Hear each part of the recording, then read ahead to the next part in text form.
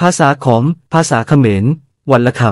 ำ วันนี้จะเสนอคำที่ไม่มีในวจนานุกรมเขมร และคนเขมรไม่เคยได้ยินคำนี้ของอีสานใต้รู้กันเป็นอย่างดี สวัสดีครับ ที่บ้านพ่อมีอาชีพตัดเย็บเสื้อผ้า เกิดมาก็ได้ยินเลย พ่อเรียกผ้าว่า เทศ หมายถึงผ้าทั่วไป หรือผ้าสำหรับตัดเสื้อผ้าของกุขัน เรียกเทศ คำนี้ไม่มีในวจนานุกรมเขมรหรอกครับ คนเขมรคงไม่เรียกผ้าว่า เทศ ชาวของอีสานใต้ ใครเคยได้ยินคำนี้บ้าง คอมเมนต์ไว้ได้เลยครับ คลิปต่อไปจะอธิบายที่มา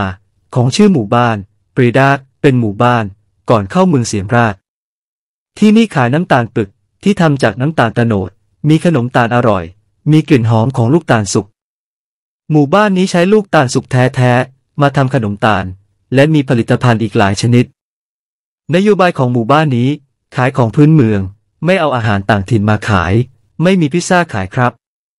ใครที่รู้ความหมายของชื่อหมู่บ้านประดัก หรือปรีดาชื่อนี้เขียนความเห็นไว้ได้เลย คลิปน่าจะมาเล่าที่มาของชื่อ ให้ฟังครับ คลิปนี้สั้นมากๆ ก็จะนำภาพการบรรยายเรื่อง อักษรขอม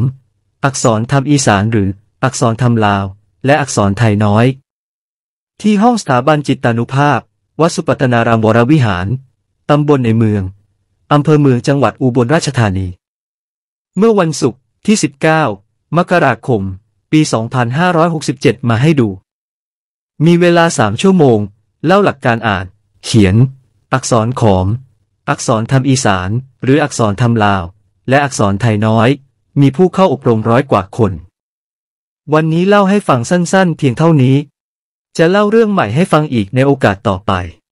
สำหรับวันนี้สวัสดีครับ